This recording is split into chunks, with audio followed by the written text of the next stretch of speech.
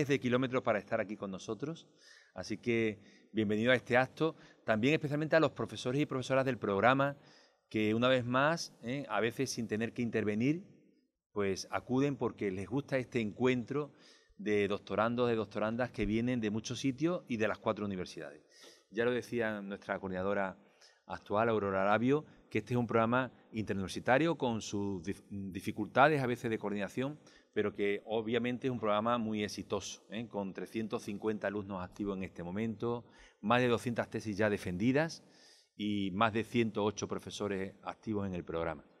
Bien, me toca eh, la labor de presentar a Javier Marzal, labor que no es fácil, que no es fácil, porque por fortuna para mí yo conocí a Javier Marzal hace ya muchos años, no quiero decir muchos, no quiero decir cuántos para que no me identifique lo viejo que soy, pero realmente hace muchos años, incluso antes de que estuviéramos en la universidad, ya teníamos contacto en los centros de formación de profesores de Valencia, de Andalucía.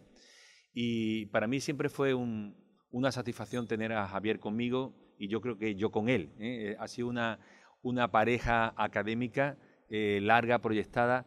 Hemos tenido nuestras discusiones académicas siempre, pero siempre del respeto personal porque nos consideramos más que colegas, amigos. Yo creo que él comparte ese sentimiento afectivo que yo tengo con él. ¿no? La verdad que Javier es, una, es uno de los investigadores más, yo creo que es verdad que no es bueno decirlo delante de él para que no se lo crea, pero también es verdad que hay que reconocerlo en público. Javier es de los investigadores en comunicación más importantes que tenemos en este país por su trayectoria, por su progresión y por lo que ha supuesto en el área eh, a nivel de todo el Estado, no solamente de la comunidad valenciana. Él tiene una formación académica muy sólida, previa, que es bueno que lo sepáis como doctorandos y como doctorandas. Él, él es licenciado no solamente en comunicación, sino también en pedagogía, en filología tiene un máster de comunicación y educación en la Autónoma de Barcelona, del que yo he sido profesor muchos años, y, además, aparte de doctor en comunicación, eh, él ya lleva al menos una década y media o más, más quizá, que es catedrático de comunicación audiovisual en su universidad. Y cuando baja a, su universidad, la llame primero, todo el mundo reconoce que Javier ha sido un poco el impulsor de los estudios allí. Yo recuerdo hace ya muchos años que estudié y nos enseñó también, me enseñó también unos estudios de televisión que él había conseguido con fondos europeos de varios millones de euros. Pero Javier, aparte de ser un, aparte es director del programa de doctorado en comunicación, ya le he dicho que vamos a firmar un convenio de los doctorados, de los dos doctorados para que podamos hacer intercambio de profesores y alumnos, algo muy importante. Lo estamos firmando con universidades europeas y americanas y creo que también vamos a iniciar el proceso de hacerlo con universidades españolas, porque a veces también es bueno ese intercambio entre las propias universidades españolas. ¿no? Eh, mm, Javier, aparte de director del programa de doctorado, es también director del Departamento de Comunicación Audiovisual, o sea, de Ciencia de la Comunicación, mejor dicho, ¿eh? porque recoge todas las áreas. Y, al fin, después de toda esta labor de gestión y de sólida formación académica, lo más destacado de él es su labor investigadora, porque eh, normalmente quien se dedica a la gestión dice no tengo tiempo para investigar.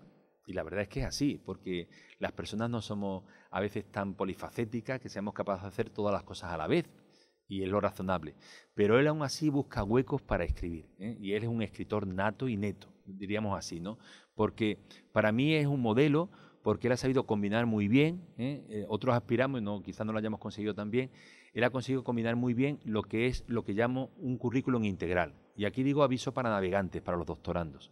Un, currículum integral se compone de hacer publicaciones de todo tipo, ¿eh? no solamente artículos científicos, sino también libros, también participar en congresos de relevancia, en comunicaciones, porque el currículum no solamente es un tipo de publicación. ¿eh? Tampoco sería positivo el que se dedique exclusivamente a publicar en comunicaciones en congresos.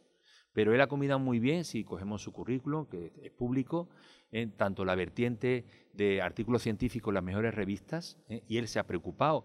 Y él eh, y os lo digo porque he sido editor de artículos que él ha presentado a revistas que yo he dirigido, ¿eh? es de los investigadores que no se enfadan cuando un artículo se lo rechaza. Y eso es muy importante, porque una característica que tiene que tener todo investigador es la humildad, y no todo el mundo lo tiene. Esa es una virtud que desgraciadamente no está reservada para todo el mundo. Eh, cuando te rechazan un artículo, hay que saber, asumir que no siempre lo que hacemos es 100% bueno y que es corregible, porque la ciencia consiste en la experimentación en, hacer muchas pruebas de errores para conseguir un acierto al final. ¿eh? Y por tanto el proceso de publicar, sobre todo en revistas eh, competitivas, no siempre es fácil. Incluso los catedráticos, los que somos catedráticos, tenemos que tener ese sentido de humildad, de saber que también podemos perfeccionar nuestras obras para hacerlas mejores y finalmente publicar, porque lo que sí está claro que cuando hacemos un producto bueno, eh, finalmente siempre ves su luz, siempre lo ves, en un sitio o en otro. Entonces Javier eh, ha hecho muy buenos libros, él es coordinador de una, una colección que se llama Aldea Global, hecha interuniversitaria por varias universidades de Cataluña y de Valencia. Ha publicado muchos libros y tiene directores de colección en Tirán Blanc, que es la, primera universidad en ESPI en España. Eh, bueno, su currículo es amplísimo, las temáticas que ha trabajado también son muy variadas.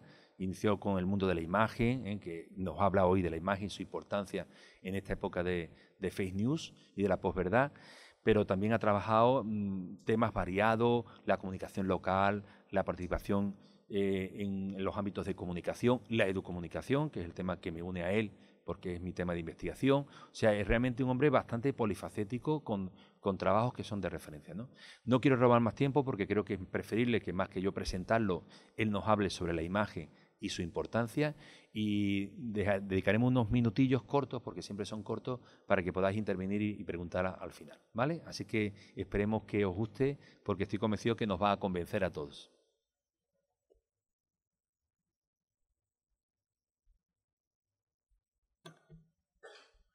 Eh, pues nada, muchas gracias por, tus amables palabras y sobre todo pues por haberme invitado y además eh, es una invitación que valoro muy especialmente porque hay como una cierta reincidencia, ¿no? ya que mm, hace cosa de cinco años o seis, no, más, eh, tuve también el honor ¿no? de poder participar en una conferencia, con una conferencia en un doctoral que se celebró en Málaga y bueno, pues que ya, digamos, apuntaba maneras, ¿no?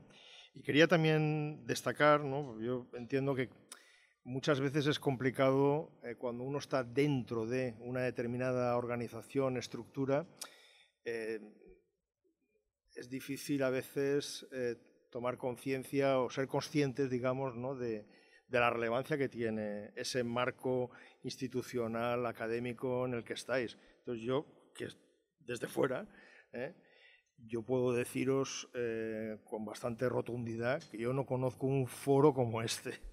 ¿eh? en, el, en, el, conjunto, digamos, del mundo, digamos, de los programas de doctorado en España, que consiga, que haya conseguido, ¿no? Eh, digamos, eh, estos hitos, ¿no? tener una masa crítica ¿no? tan relevante como la que tenéis en este programa de doctorado interuniversitario, que es referencia absoluta en España y a nivel internacional. Y puedo deciros también que lo que yo conozco de Francia, de, de Gran Bretaña, por poner, en fin, como citar dos países cercanos ¿no? en nuestro entorno, yo no he visto tampoco nada parecido a esto, ni siquiera ahí. Eh, entonces, bueno, en este sentido eh, eh, se desmiente esa, esa, digamos, ese diagnóstico ¿no? que estamos escuchando, por desgracia, mucho en estos últimos tiempos, eh, que motivó la publicación de una tribuna en el país en el mes de diciembre, cuyo titular era Universidades sin universitarios. Subrayo esto porque esto es como el contraejemplo, ¿no? maravilloso, debe ser como la excepción que confirma la regla, ¿eh? porque lo que estamos viendo y viviendo todos los que estamos en otras universidades o nos movemos por muchas universidades es que efectivamente hay un vaciado eh, muy preocupante de eh, asistencia presencial de estudiantes en los grados, en los másteres y en los programas de doctorado. Y además, yo diría que este vaciado, esta, ausencia de, estudiantes, es todavía más crítica, sobre todo en másteres y en doctorados, más que en los grados, fijaros. Con lo cual, bueno, yo creo que, eh, en fin, tenéis muchos motivos para, de verdad para, celebrar ¿no? y estar orgullosos de, este programa. ¿no? Bueno, yo eh, eh, había pensado ¿no? pues, compartir con vosotros una reflexión sobre, sobre una cuestión que yo creo que en estos momentos es muy importante reivindicar, ¿no? que es esta cuestión de la naturaleza del análisis, del análisis de las imágenes, que además parte de una constatación que yo creo que en estos últimos años hemos venido comprobando, ¿no? constatando de manera fehaciente. ¿no? Y es que eh, bueno, pues cada año estamos viendo cómo nuestros estudiantes que llegan a las universidades, primeros cursos, yo tengo esa, eh, en fin, yo creo que por suerte tengo, tengo el privilegio ¿no? de impartir clase en primer curso de grado, en el primer semestre además, o sea que lo acojo a estudiantes que vienen de bachillerato, pero también doy clase en máster y también eh, coordino también el programa de doctorado. Y quiero decir en este sentido ¿no? que, que bueno, todos estamos compartiendo en estos momentos mucha preocupación sobre cómo están llegando nuestros estudiantes ¿eh? a la universidad y, bueno, y en este ámbito concreto ¿no? de lo que se refiere al análisis de las imágenes, pues la cosa todavía más preocupante. Este es un poco el esquema que voy a seguir. ¿eh? Voy a tratar de ser eh, rápido y lo más claro posible.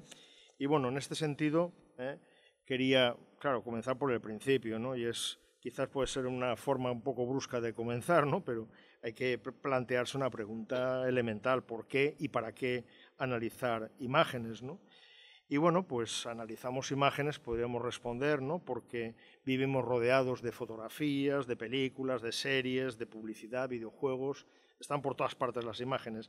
Imágenes que están reclamando continuamente nuestra atención y bueno, eh, como decía Aristóteles en su Metafísica, eh, que es un texto que yo creo que hay que reivindicar, fijaros, con los años que han pasado, ¿no? 2500 años, mm, no deja de ser, eh, en fin, apabullante ¿no? lo que dice cuando afirma que somos animales racionales y que, por tanto, bueno, como, como tales, todos los seres humanos tendemos por, por naturaleza o tenemos por naturaleza un deseo de saber. Y aquí la palabra deseo es muy importante. Y fijaros que dice también a continuación el placer.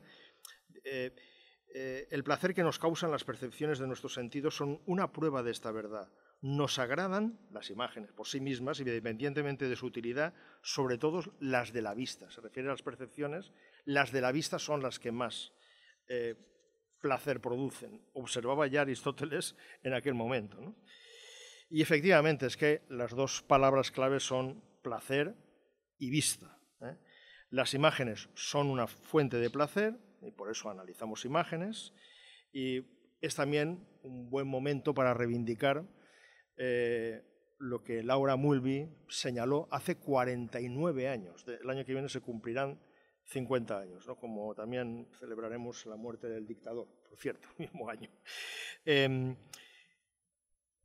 digamos que mm, como decíamos antes, ¿no? analizamos imágenes para satisfacer nuestra curiosidad natural, nuestro deseo de conocer y de comprender el mundo que nos rodea, ¿eh? y esa actividad analítica no está eh, exenta de placer, porque entender o creer entender el sentido oculto o sentidos ocultos de cualquier texto audiovisual es una actividad que también proporciona placer. Eh, por tanto, analizamos ¿eh? imágenes como fuente de conocimiento humano del mundo y porque la actividad analítica proporciona placer. Y esto es algo, además, sobre lo que incidía especialmente eh, Laura Mulvey en un artículo probablemente el más influyente que se ha escrito nunca en, que relacionaba el cine y el feminismo, o la perspectiva feminista. Como digo, es un texto que se publica en la revista Screen en el año 1975 Visual Pleasure and Narrative Cinema, y que es referente en todo lo que se refiere a los estudios de género y todavía hoy sigue teniendo una relevancia de primer orden.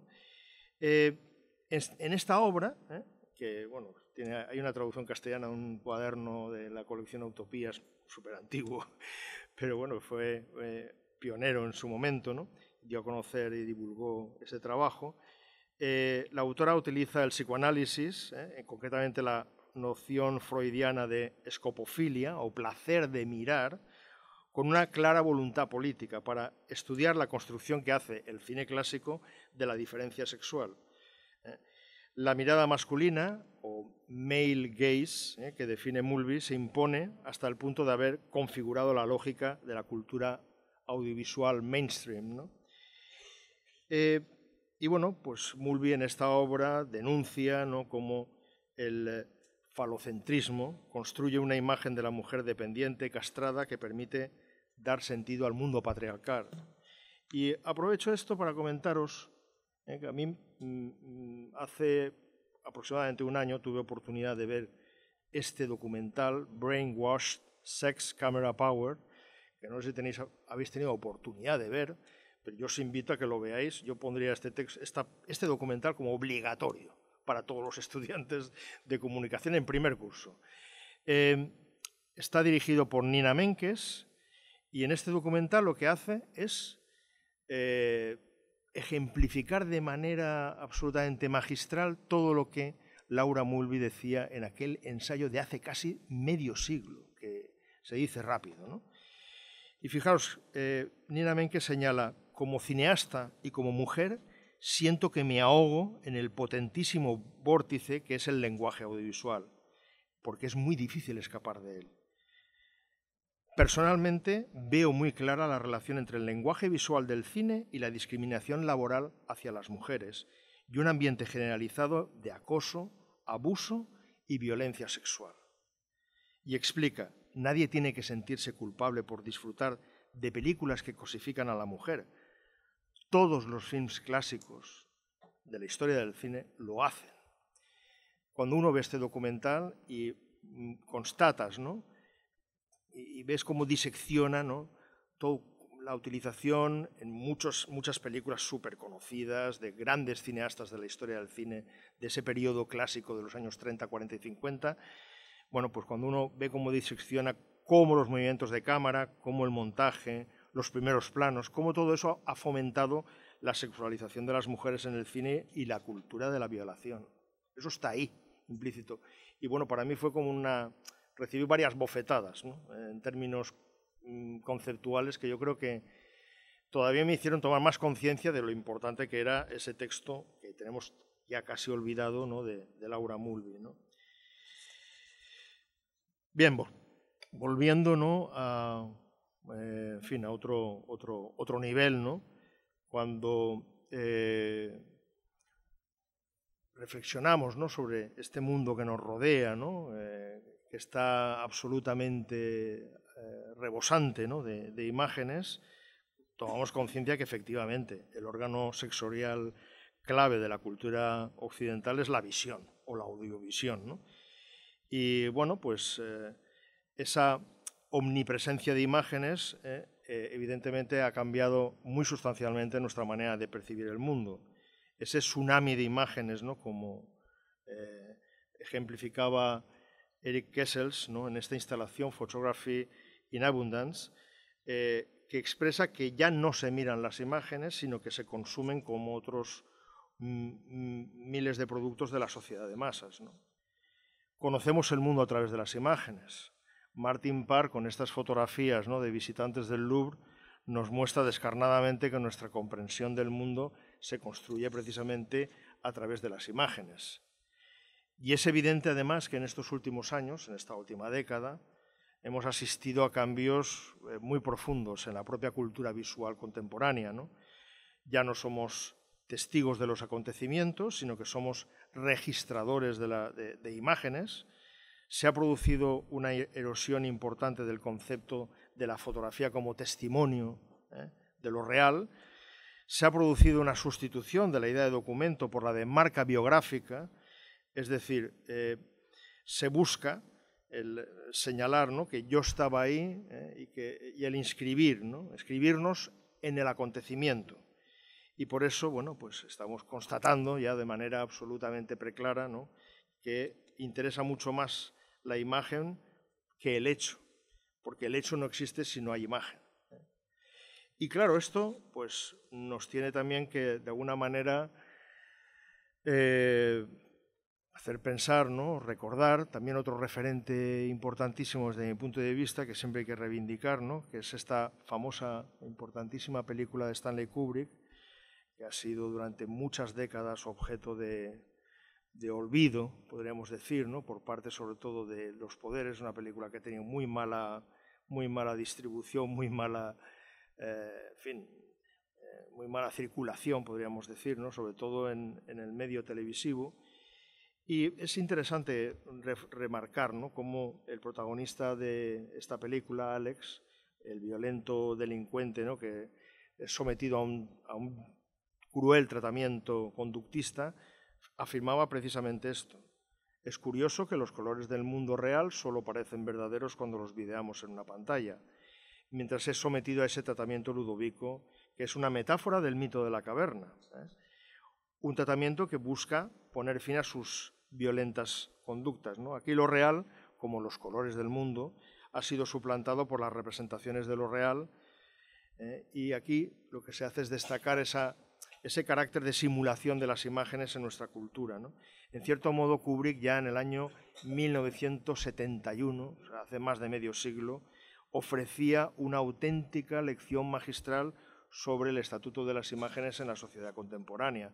Y estas ideas estaban, habían sido expuestas en una obra que fue adquiriendo cada vez más importancia, que es La sociedad del espectáculo, de Guy Debord, que sigue siendo una obra de referencia absoluta, y también en esta otra obra y otras obras de Jean Baudrillard, ¿no?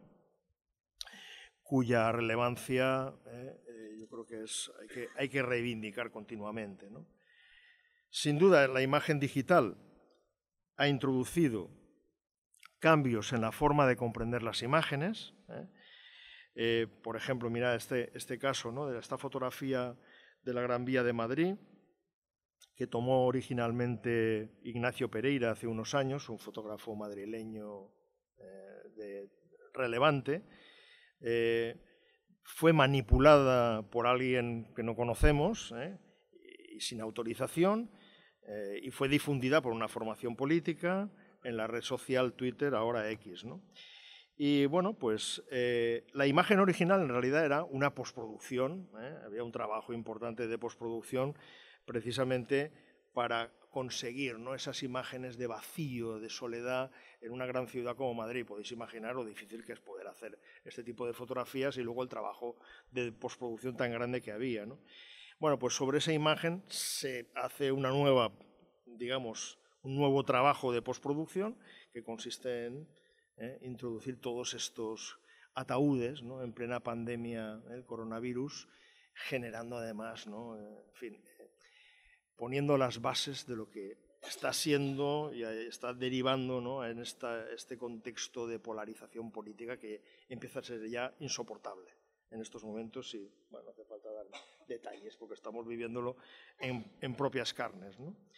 Y fijaros, es la manipulación de una fotografía manipulada, que vuelve a subrayar una idea fundamental que no hay que perder de vista y que mm, no por mucho repetir eh, se tiene conciencia real del asunto, y es que toda imagen fotográfica siempre es una construcción discursiva, es siempre un artificio. Más allá de la primacía de la imagen, de la preponderancia de lo visible sobre lo inteligible, como diría Sartori, el análisis de las imágenes es un espacio privilegiado para desplegar una suerte de epistemología, ¿eh? que es imprescindible para estudiar los límites del conocimiento humano en el mundo actual. Y ahí Foncuberta, ¿eh? que es un caso excepcional a nivel planetario, Premio Extraordinario de Fotografía en 1995, Premio Nacional de Ensayo en 2011. A ver dónde encontramos una persona que tiene esa excelencia tan extraordinaria en dos campos simultáneamente. Foncuberta señalaba en la era, que, en la era de la posfotografía la furia icónica de las imágenes está directamente escapando a nuestro control y esta es una sensación que tenemos todos. Eh, no obstante, es importante recordar eh, que eh, la percepción de cualquier objeto es siempre una construcción cognitiva y que por tanto, la mirada, cualquier mirada, siempre es un acto de interpretación. Y toda imagen no deja de ser la huella de una mirada. ¿eh? Y es por eso ¿no? que adquiere sentido eh, esta, digamos, eh, esta visión, ¿no? esta, esta, perspectiva que señala ¿no? como el ojo que observa una imagen nunca es un ojo inocente, como diría, como decía el clásico psicólogo e historiador del arte Ernst Gombrich, ¿no? Como tampoco lo son las imágenes, que las imágenes representan, como todos sabemos, ¿no? modos, de, modos de ver, como decía John Berger. Al mismo tiempo también es necesario reconocer que el texto audiovisual, una foto, una película, una serie, un informativo, eh, un videojuego, eh, en muchos casos es un objeto de estudio inconsistente. Es decir, que no permite una comprensión exhaustiva de sus elementos, porque toda imagen, sobre todo cuando hablamos de imágenes complejas, que no solamente son las imágenes artísticas, ¿eh? porque hay fotografías o hay textos audiovisuales spots publicitarios o fotografías de prensa eh, o reportajes eh, periodísticos que tienen una gran complejidad textual. Y en ese sentido, bueno, pues subrayaríamos esa naturaleza polisémica y abierta que, tiene tienen muchos textos audiovisuales. Y eso es lo que lo convierte, a estos textos, en objetos inconsistentes, es decir, inagotables. Inagotables en eh, significaciones. ¿eh? Habrán tantas eh, interpretaciones como personas que estén investigando o analizando esos objetos. Esto se puede relacionar con ese, ese concepto de puntum ¿no? o de sentido obtuso que destacaba, por ejemplo, Roland Barthes. Pero claro, esto no significa que no deba exigirse siempre rigor metodológico cuando estudiamos las imágenes. ¿eh? porque eh, el análisis crítico y el desarrollo de teorías sobre la significación de las imágenes se tiene que articular sobre la base de razonamientos y de argumentaciones consistentes. Claro, cuando nos aproximamos al estudio de las imágenes, y yo con esta pequeña charla lo que quería era compartir con vosotros ¿no? como una suerte de visión panorámica que yo creo que a veces es importante recuperar, ¿eh? tener un sentido, una, visión general, ¿no? Eh, cuando prestamos atención, por ejemplo, a un texto audiovisual como una fotografía, como nos enfrentamos al análisis de una película, eh, de un objeto eh, comunicativo, de un producto comunicativo, ¿no? de cierta complejidad, bueno, pues atendemos a diferentes cuestiones, ¿no? Por un lado, bueno, pues está el contexto sociológico, histórico o cultural, ¿eh? y bueno, pues se refiere, a, basándonos en este esquema de la comunicación de Laswell, ¿no? pues a esos elementos ¿no? que rodean ese eh, texto audiovisual, pero también bueno, pues podemos ver perspectivas de trabajo que se centran más en el polo productor, por ejemplo, en la instancia creadora, ¿eh? y que adoptan una perspectiva biográfica o psicoanalítica en algunos casos, o perspectivas que se centran exclusivamente en el texto, en la materialidad del propio texto audiovisual, ¿no? y que bueno, obedecerían a perspectivas como el estructuralismo, como la, semiótica, ¿eh? o otras perspectivas que se centran mucho más en el polo receptor y que apuntan, en este caso, pues a todo lo que se conoce como el postestructuralismo. ¿no? Y, por supuesto, el canal, el canal de comunicación, ¿no? que también puede motivar eh, el desarrollo de investigaciones que van más del lado de lo que sería la economía política de la comunicación o, por ejemplo, en interpretaciones que se, basan en el estudio del dispositivo, de qué manera el canal, eh, eh, en este caso la tecnología, determina la, propia construcción discursiva, digamos, de esos textos audiovisuales. Y por eso creo que puede valer la pena, muy brevemente, ¿eh? como digo, hacer este pequeño recorrido, ¿eh? breve, eh, mostrando las, cómo, bueno, pues hay diversas maneras ¿no? de aproximarse al estudio de las imágenes y bueno, pues una metodología de, de, de, análisis lo que hace es proporcionarnos un modelo de interpretación de su objeto de estudio. ¿no? Y bueno, eh, cualquier propuesta perdón, metodológica en la práctica es una teoría de la imagen o una teoría de la representación.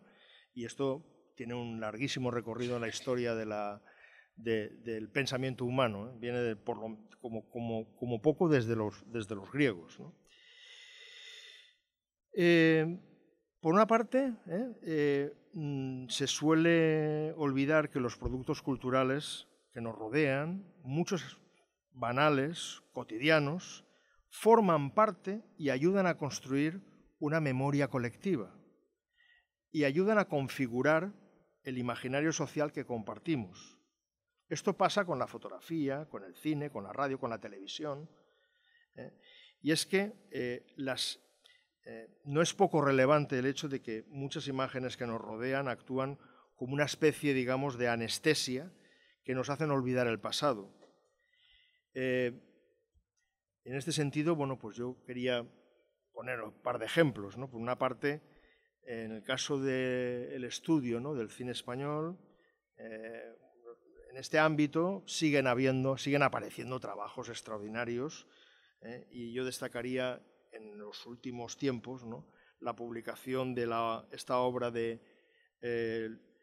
este eh, estudio sobre la obra de Luis García Berlanga que han firmado José Luis Castro de Paz y Santos Zunzunegui en el año 21 a propósito de la obra, como digo, de Luis García Berlanga, y que es como un ejercicio de replanteamiento de las luces y sombras que han ido configurando también nuestra, nuestra historia reciente.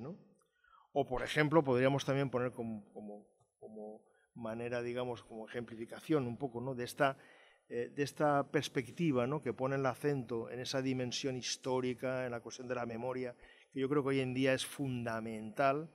Estamos viendo cómo la polarización política está también contaminándolo todo aquí en nuestro país ¿eh? Ahora, en mi tierra, yo vengo de una tierra desolada, donde cerramos una televisión pública, la hemos recuperado cinco años, casi cinco años después, en 2018, se cerró en el 2013, y ahora va a volver a haber una reescritura, una reestructuración de esa radio y televisión pública, ¿eh? y donde se van además se están modificando muchas cosas, ¿no? entre ellas la propia ley de memoria democrática que pasa a llamarse ley de, la concordia. ¿eh?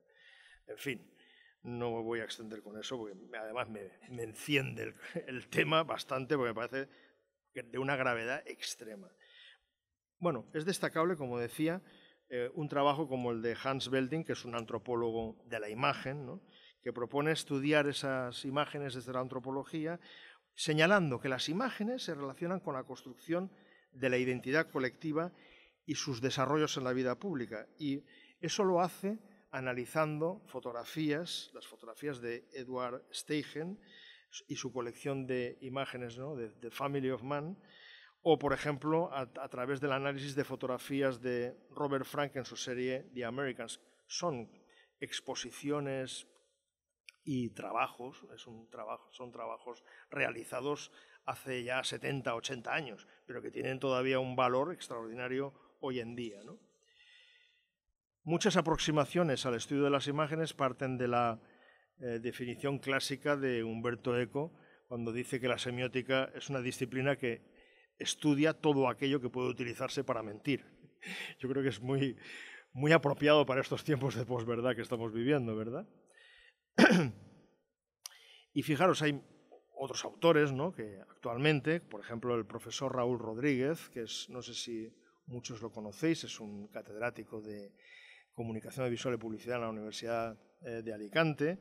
Eh, él ha, propuesto ¿no? y ha desarrollado varios ensayos ¿no? que han recibido además premios importantes, varios ensayos eh, que proponen una aproximación al concepto de, de posverdad a través de sus formas de representación y bueno, pues por ejemplo, entre otras cuestiones, muchas cuestiones, eh, el profesor Raúl eh, Rodríguez Fernández analiza, eh, digamos, encuentra en el análisis de la producción artística y también teórica de Joan Foncuberta precisamente un material de estudio muy relevante para desenmascarar las estrategias ilusionistas de la posverdad.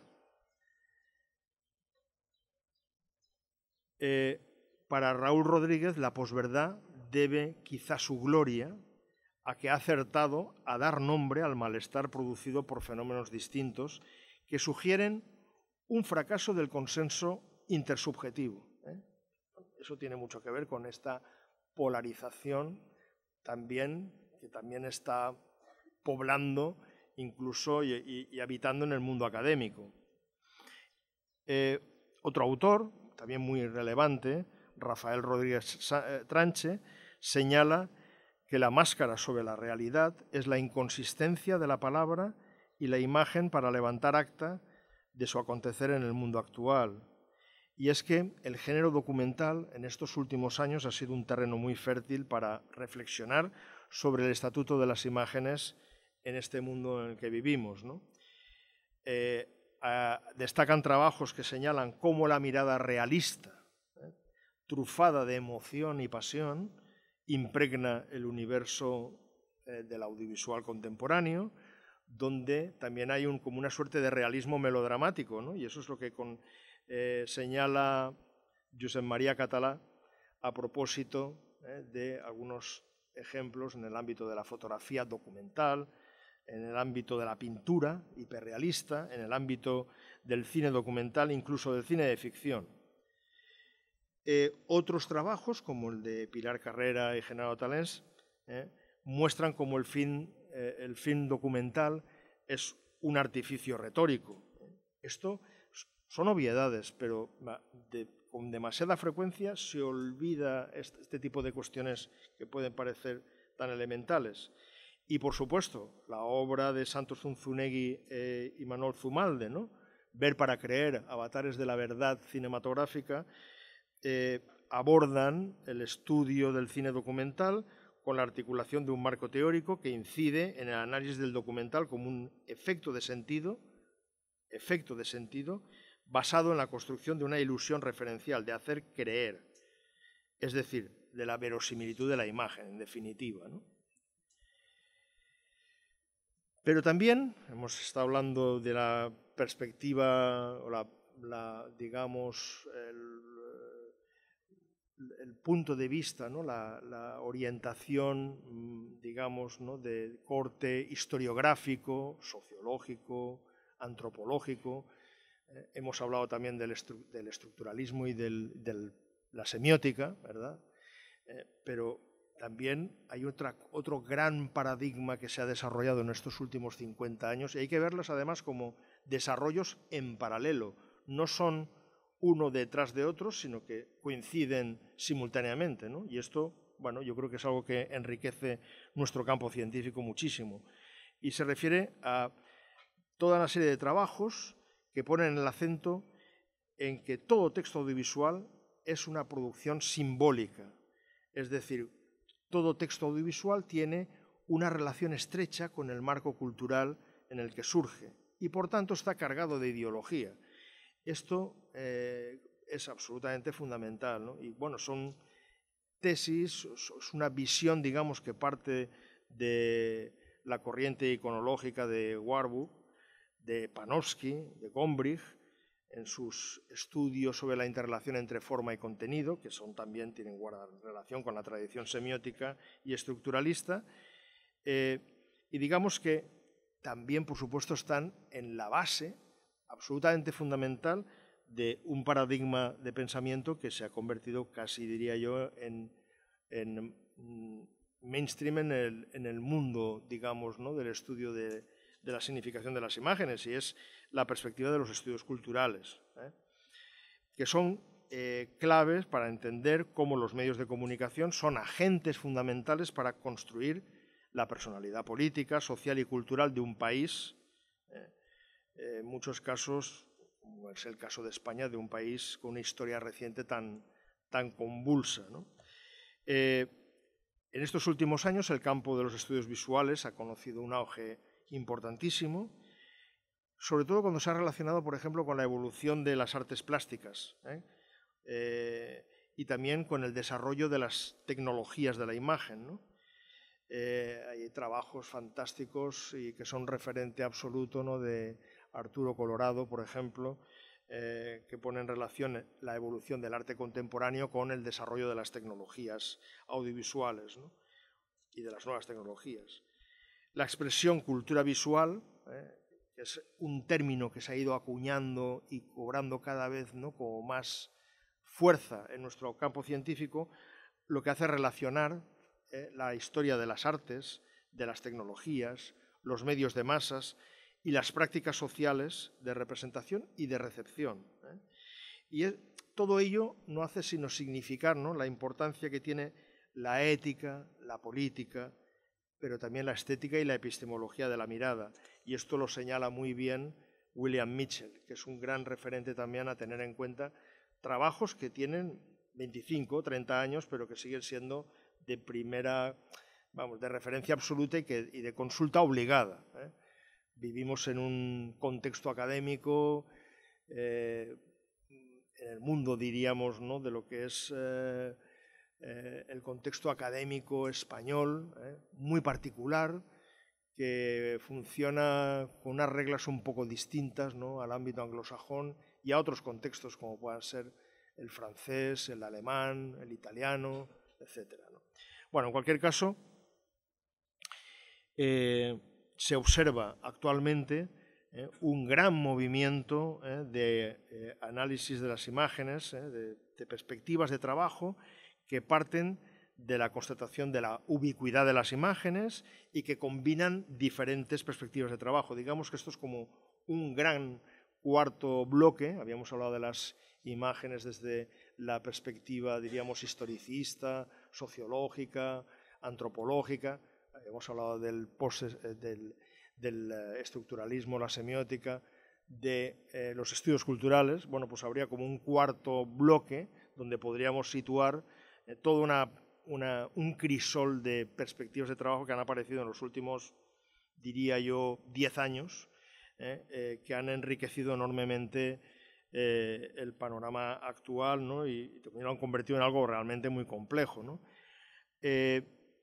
Digamos que hay estudios que abordan el, análisis de los discursos visuales que eh, han propiciado investigaciones que se preguntan, por ejemplo, sobre el funcionamiento afectivo, ideológico de las imágenes en relación con los flujos de consumo, como es el caso de Eloy Fernández Porta, este ensayo eh, Emociones e así, por los métodos de producción y sus canales de exhibición, como es el caso de, eh, trabajo de Steyerl, o, por ejemplo, por sus relaciones con los cambios tecnológicos en la creación y difusión que nos están rodeando, que son, sería el trabajo, por ejemplo, de Agustín Fernández Mayo.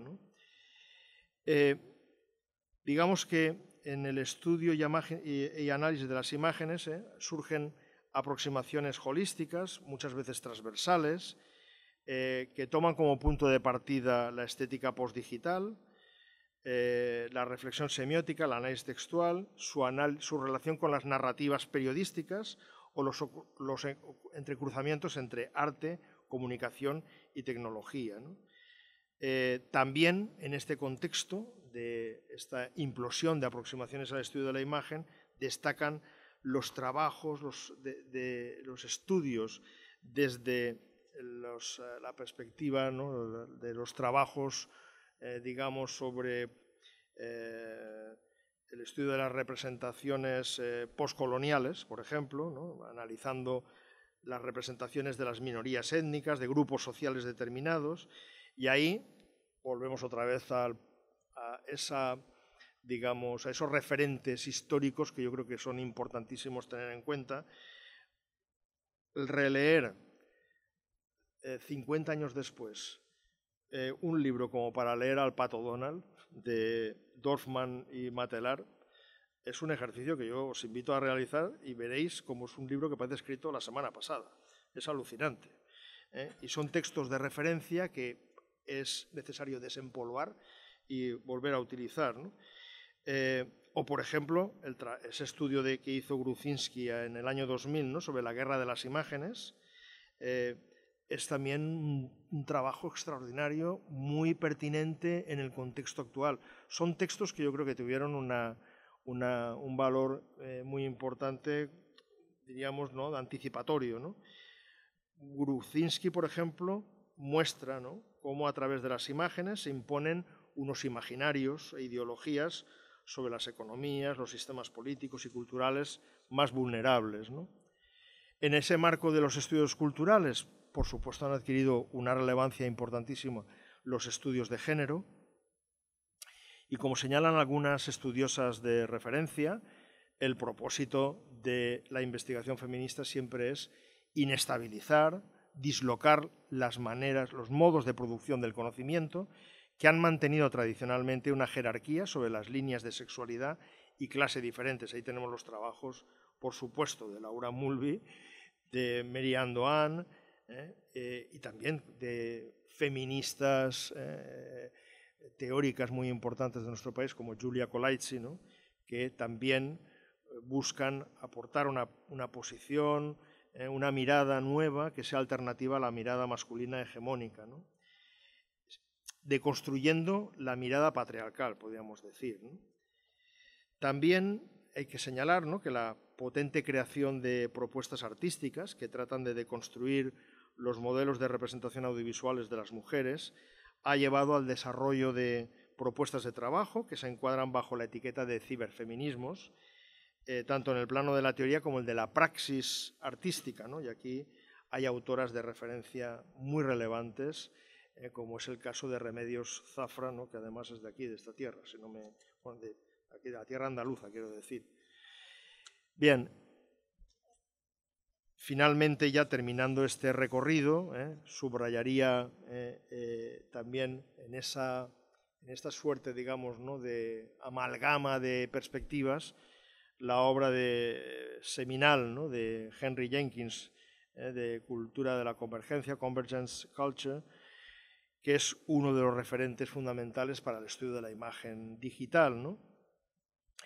Y que tiene eh, en Carlos Escolari uno de sus difusores, creo yo, más relevantes en nuestro contexto eh, académico español. ¿no?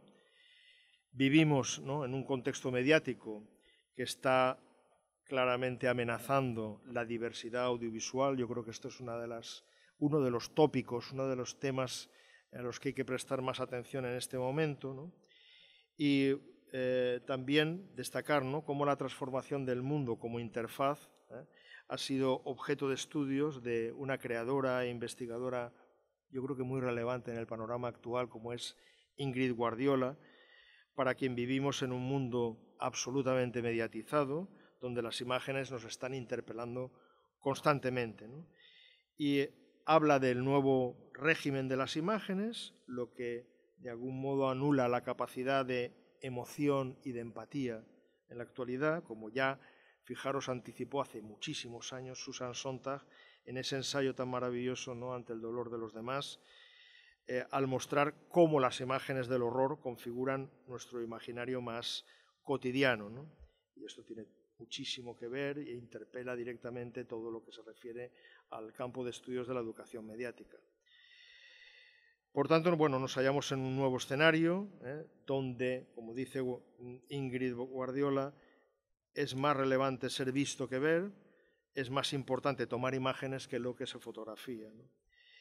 Eh, este estudio de la imagen en el contexto de la comunicación política es otro campo de reflexión muy útil, muy fértil, Carlo eh, Ginzburg afirma que toda imagen en toda imagen coexiste una trama política coyuntural con un trasfondo que es histórico, religioso, iconográfico, que vehicula eh, el contenido emocional y los códigos de expresión del poder.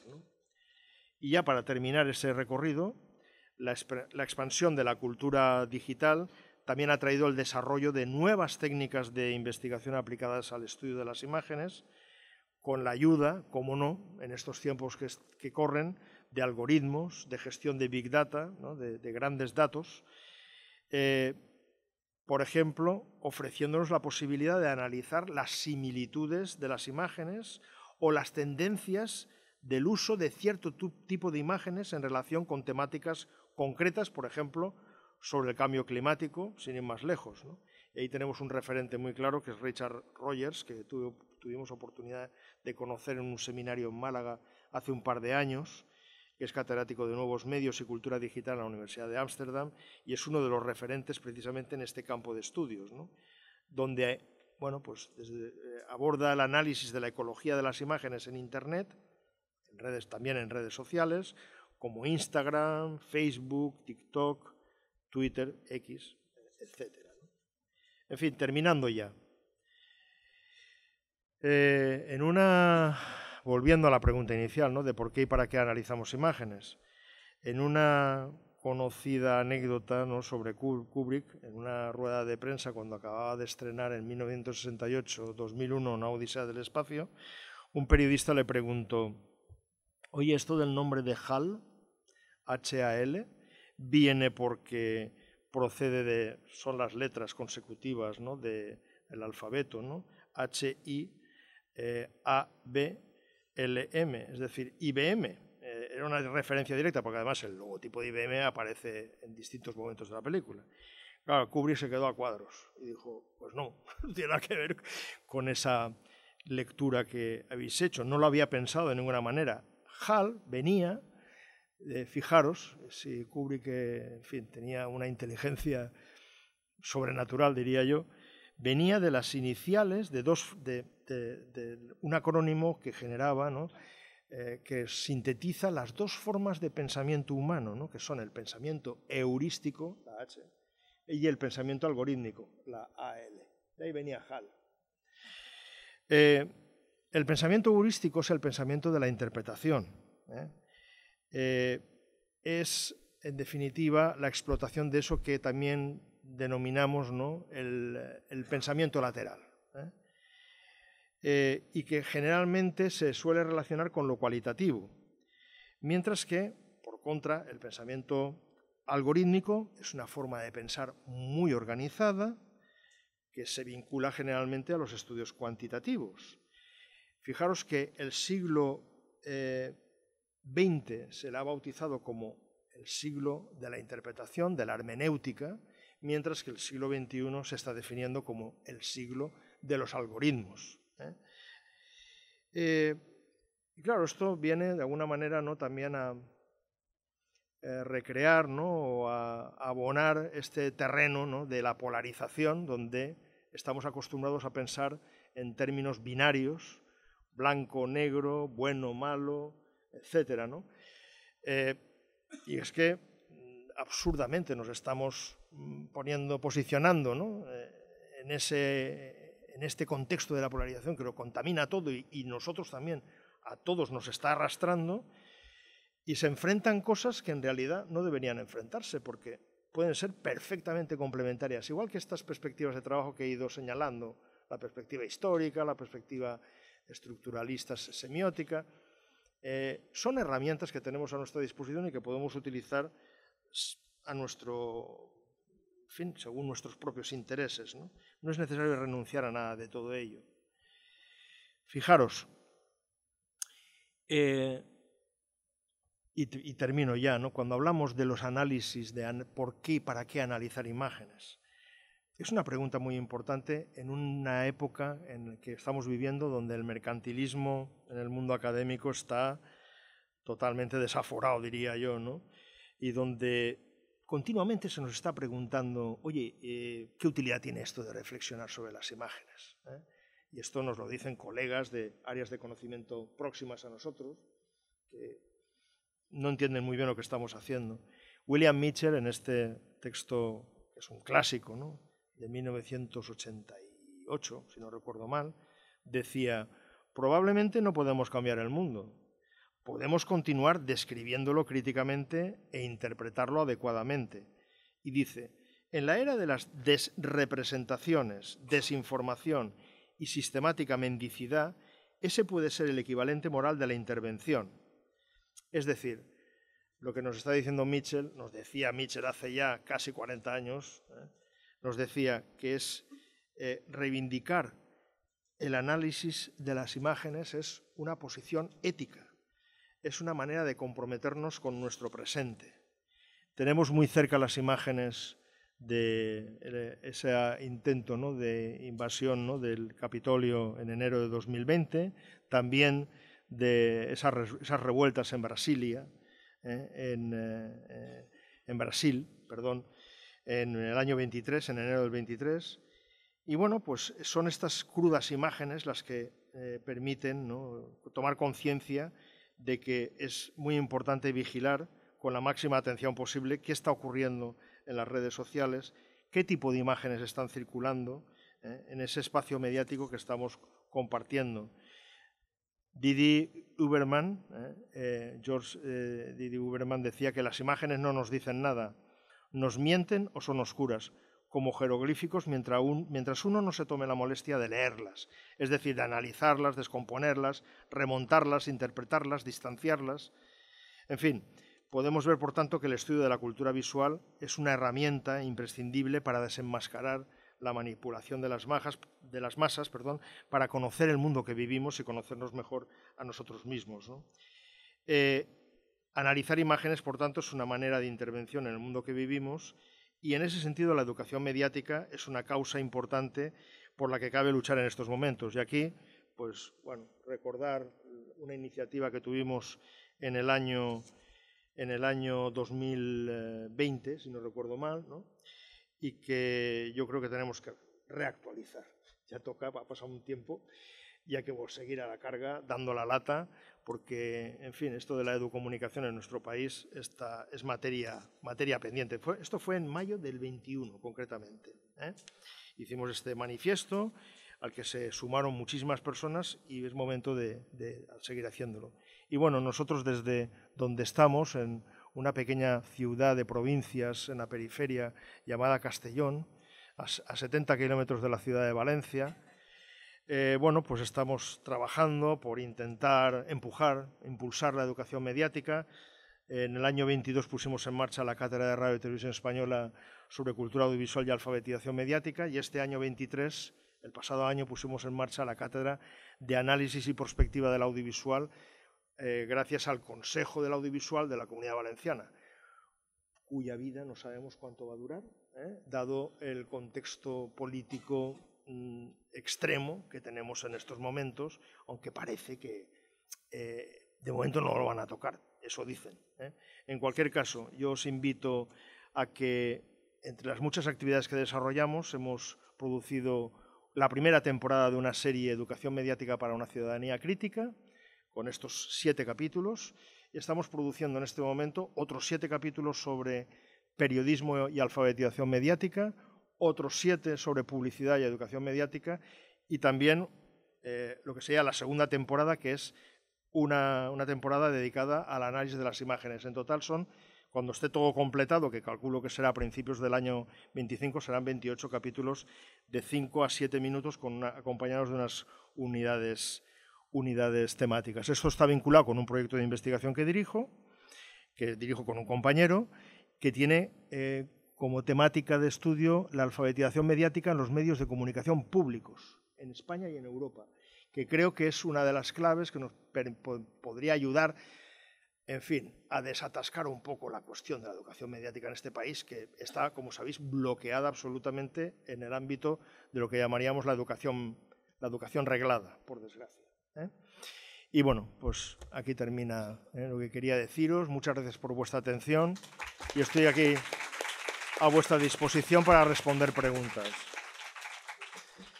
Bueno, eh, creo que en tiempos de algoritmo, una reflexión heurística como la que nos ha hecho Javier es mm, más una lección, como diríamos en sentido clásico, con una batería de repaso de autores y de, de teorías ¿eh? donde nos reflejan básicamente la importancia de la imagen como el centro de todo, del lenguaje, del pensamiento, de la memoria ¿eh? y también de la revolución necesaria y posible, como planteaba al final.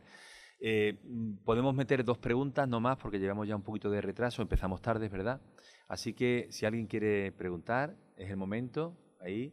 Por favor, decid vuestro nombre, la universidad y de dónde venís, brevemente, y la pregunta. Podemos, pasamos micro, ¿verdad? Sí, vamos a pasar micro para que se pueda grabar. ¿eh? Recordar que todas las sesiones se graban y en el espacio de, la web del doctorado, que os invitamos a que visitéis, están todas las jornadas doctorales desde hace 11 años que empezamos, no 10. ¿eh? O sea, en septiembre empezamos la promoción duodécima. Así que tiene la pregunta. Eh, hola, bueno, mi nombre es Fátima, vengo de la Universidad de Sevilla y estoy en la línea de comunicación audiovisual. Eh, antes de nada, muchas gracias por su intervención, ha sido enriquecedora en todos los sentidos.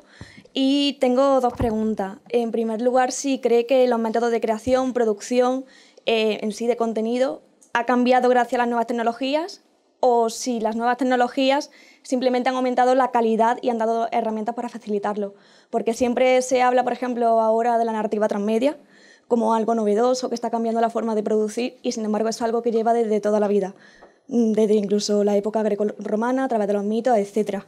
Y la segunda pregunta es si cree que las nuevas generaciones están hechas a la, a la posverdad y a las fake news porque es cierto que hay más eh, credulidad dentro de la sociedad, pero también es cierto que, por ejemplo, yo con mis sobrinos que tienen 15 años, eh, tú le presentas una imagen creada por, y generada por inteligencia artificial y mientras que mi madre de 70 años le cuesta reconocerlo, mis sobrinos lo hacen en el mismo momento. Entonces, esa es mi pregunta. Bueno, vamos a hacer una segunda pregunta y con esto terminamos. Javier se queda en el descanso, en la comida y hasta la tarde, ¿vale? Digo esto por si alguien después quiere hablar con él, dialogar, no mucho, hasta la tarde solo, que regrese esta tarde, noche a su, a su hogar. Así, una segunda pregunta, por favor.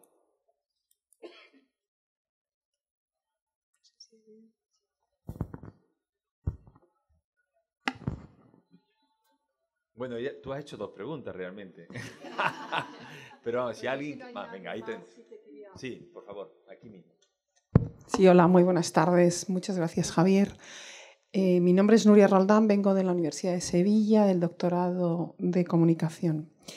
Em, has hablado mucho de la imagen, yo te agradezco mucho el recorrido, pero a mí me gustaría un poco mm, que me dijeras desde dónde estás hablando cuando hablas de posverdad, por favor.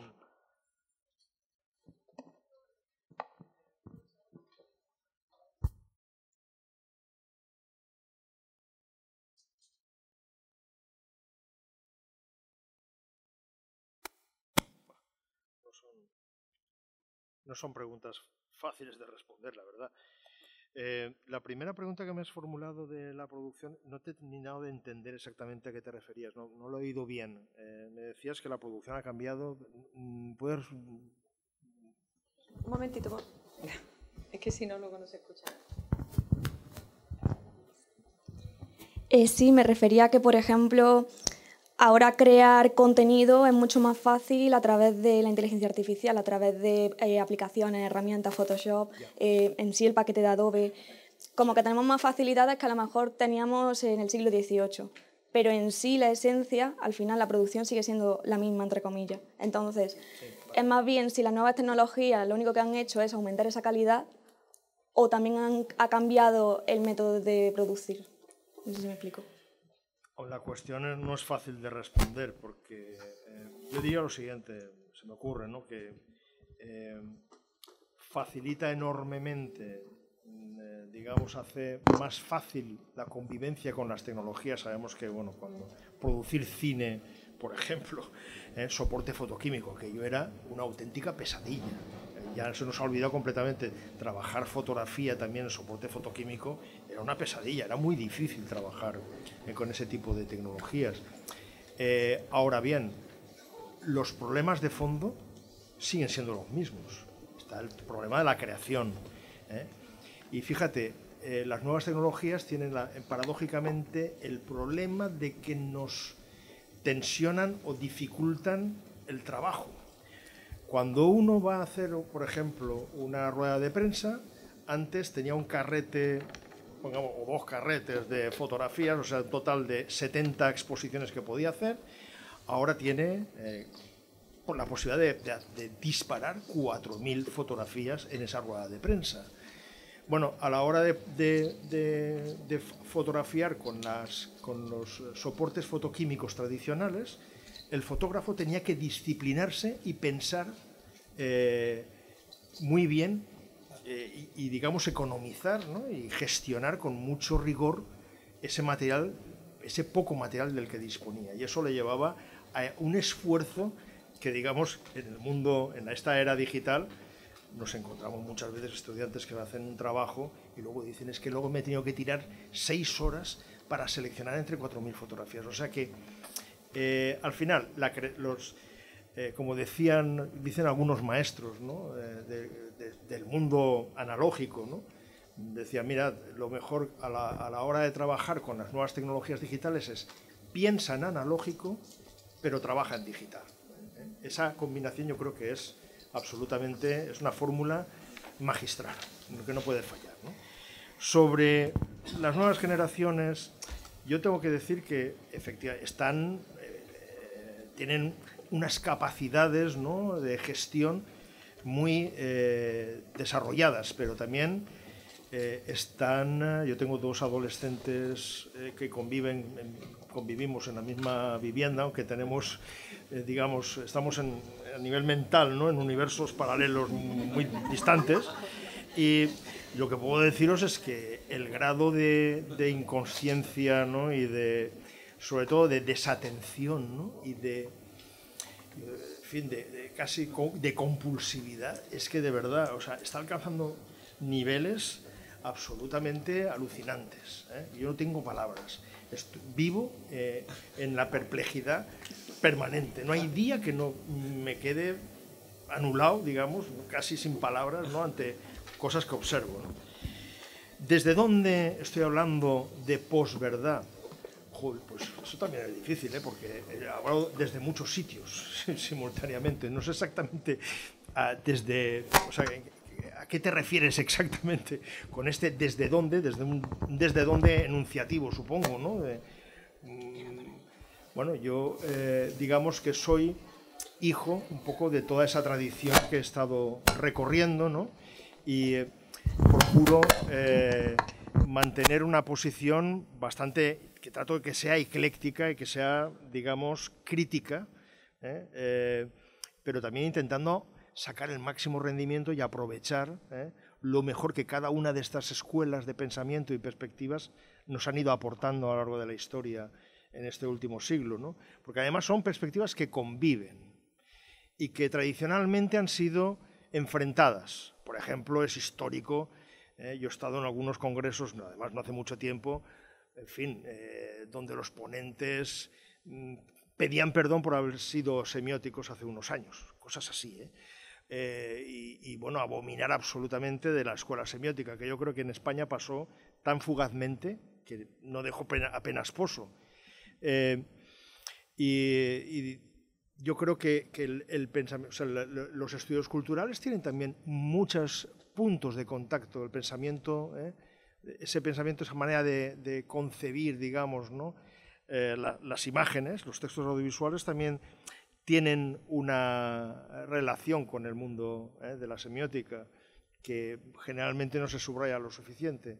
No son escuelas enfrentadas. Los grandes padres de, los estudios culturales no son ni mucho menos declarados antisemióticos. ¿eh? Esto es lo que quería yo un poco señalar. Entonces, desde, desde donde, lo único que puedo decir es que hay muchas voces hablando a través de mi, de mi cabeza, ¿eh? para bien y para mal, no sé.